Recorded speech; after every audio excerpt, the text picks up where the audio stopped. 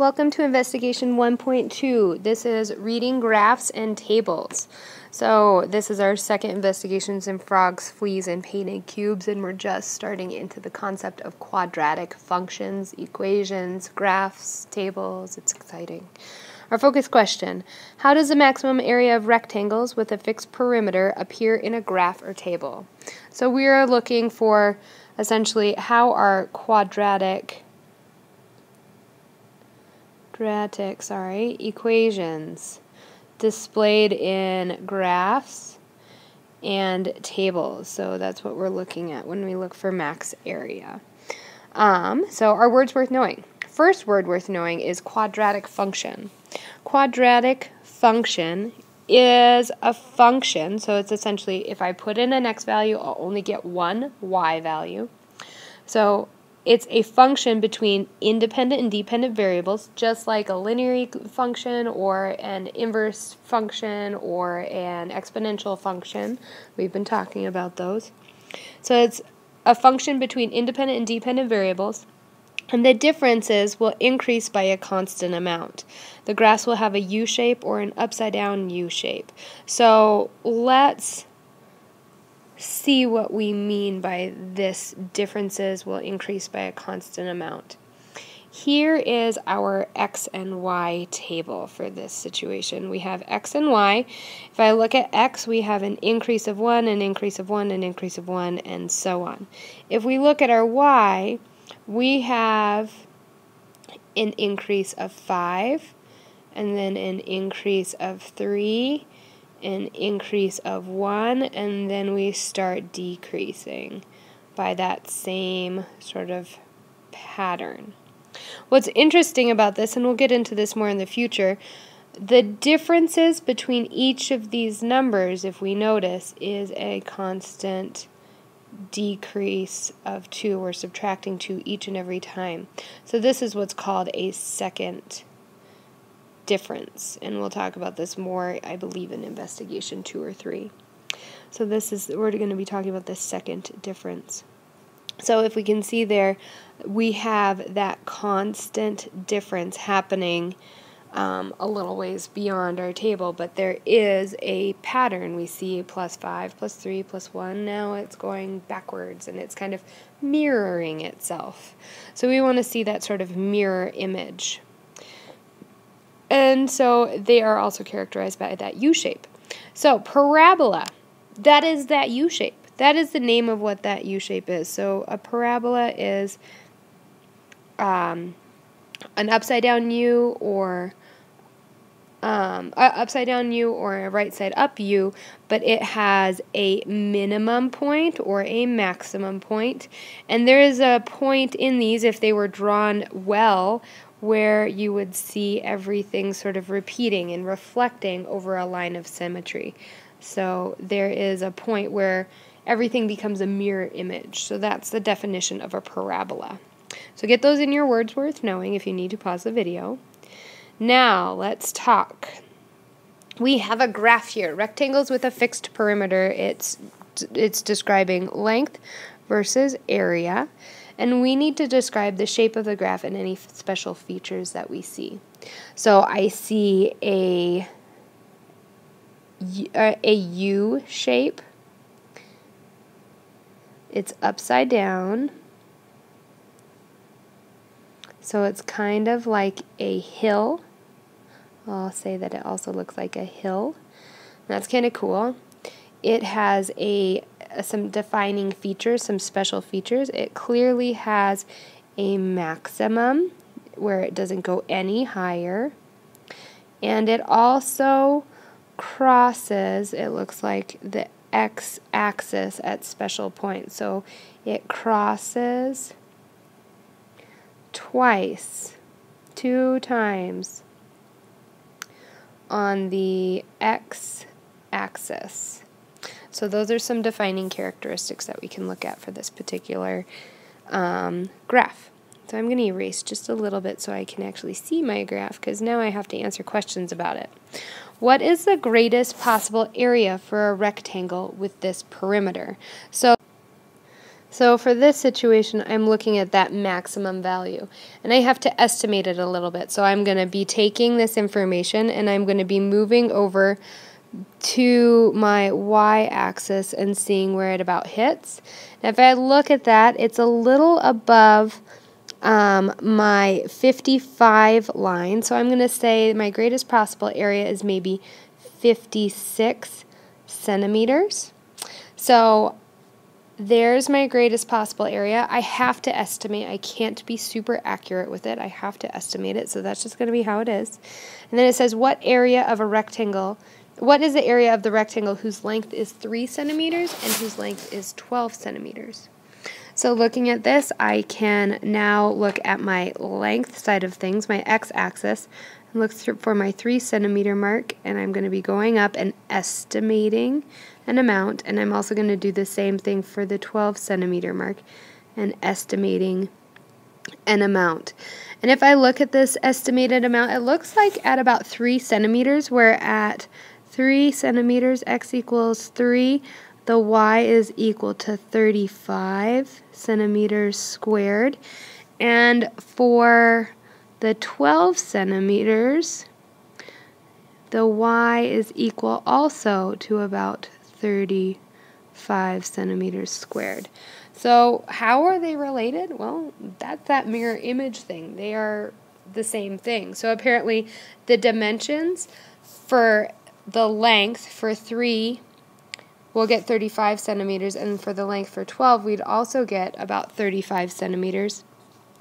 So apparently there there is some sort of coexistence. And if I think about this, if I'm thinking about a rectangle that is maybe a 3 by 12, our area would be 36. So it's not just 35 that we have here, we probably have about 36 centimeters. So that's just a little bit of problem solving we can do. What are the dimensions of a rectangle with an area of 50 square centimeters? So if I were to look at the 50 line, I need to try to figure out some dimensions. So we have a cross there, and then if I were to keep going, we can see that there's a second cross here. So now we can go down and look at my x-axis and see that we have 10 and 5. So the dimensions of our rectangle with an area of 50 square centimeters is a 5 centimeter by 10 centimeter rectangle. Um, last one. What is the fixed perimeter for the graph?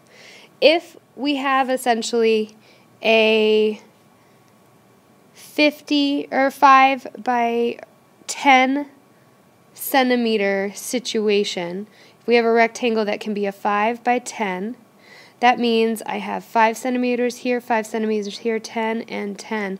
So my fixed perimeter would be all of those numbers added up. So 5 plus 10 plus 5 plus 10, or 30 centimeters would be equal to the perimeter. Now let's move on and let's look at some tables. So here is a table that we have here. Actually, we're going to look at one table, not multiple. A rectangular swimming area. So it looks like we're at a swimming pool. What patterns do we observe in this table? Looking at this, I can say, well, here we have a 1 through 15, so we have a constant increase of 1 on the length or the x-axis. And our area, it looks like it goes 15, 28, 39, 48, 55, 60, 63, 64, 63. So here is my maximum and that's where everything starts to flip flop and mirror itself. So we have 63, 60, 55, 48, 39, 28, and 15. So there are some of my end points. So looking at this, I can essentially, if I wanted to, I could create like a little rainbow and I could connect the dots between the areas that are the same and I'd see that we have a sweet little rainbow situation. How exciting. So first question, what is the fixed perimeter for the possible swimming areas? We kind of need to figure this out. One way that we can figure it out is we can look at these rainbow arcs that I'm making.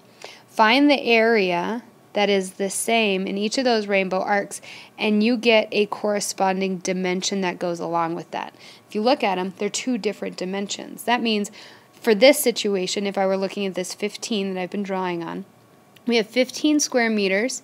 And if I look over, we have 1 meter and 15 meters. That means there is a long, skinny rectangle for a swimming area. It's like a swimming lane that's 1 meter by 15 meters.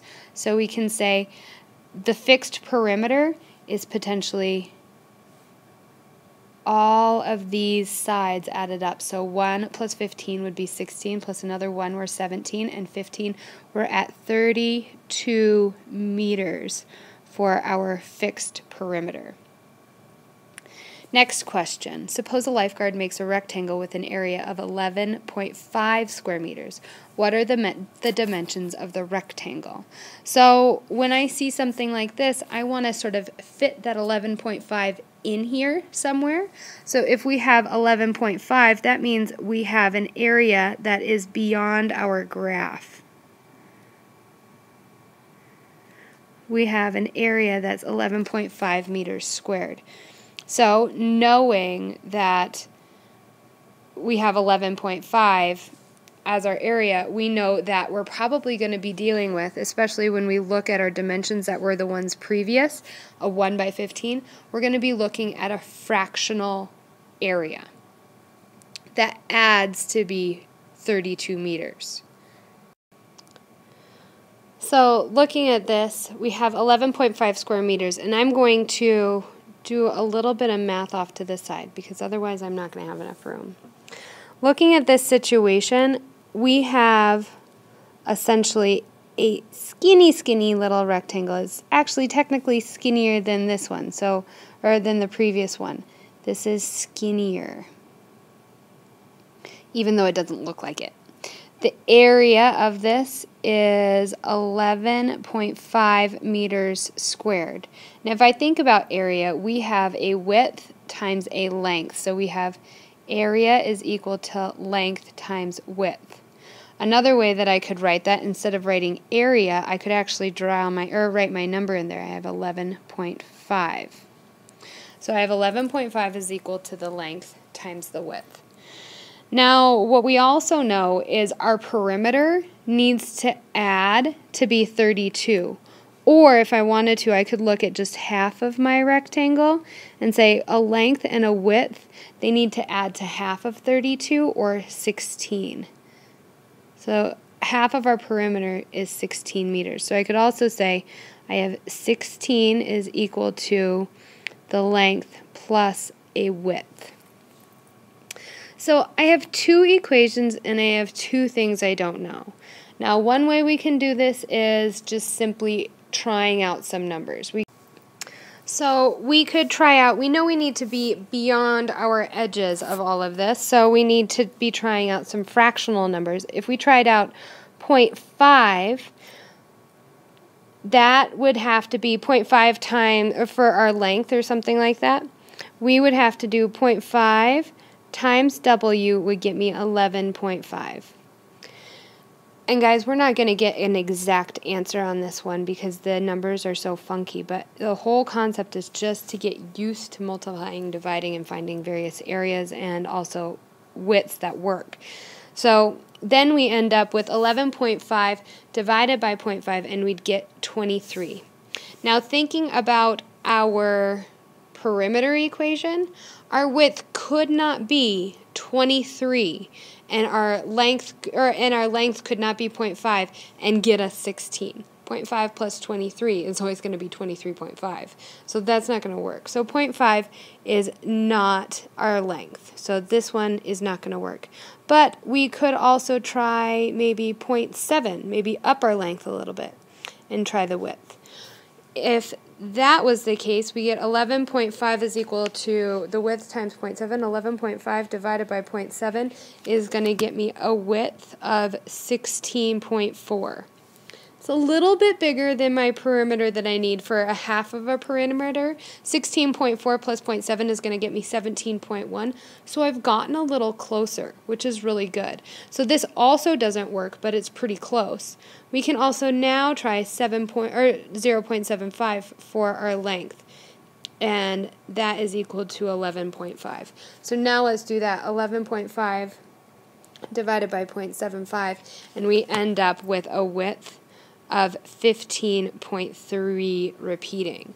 You add those numbers up, and we're almost at 16. So I would say our length, or, the dimensions of the rectangle are a length of about 0.75 and a width of about 15.3. So somewhere in that realm, we would be able to find a length and a width that would work. I'd imagine it could maybe even be 0.8 times 15.2. Nope, that one doesn't work. So looking at that, that's how you're going to sort of work it out. The next, la- uh, the next and last question that we have is the lifeguards want to enclose the greatest possible area. What should the dimensions of the eh, swimming area be? And what's nice about our table is we can actually find that situation. Our maximum area is on that table and it is right here at 64. And we have one length that's listed there, which is 8. So the dimensions of that swimming area would be 64 as our area times 8 times the width. That means we're going to divide by 8. So we get 64 is equal to, or like, oops, not 64, but 8 is equal to our width. So our dimensions are an 8 meter by 8 meter swimming pool. Okay, so work yourself through this investigation. I hope this helps answer some questions you may have for investigation 1.2, and I will see you later. Bye.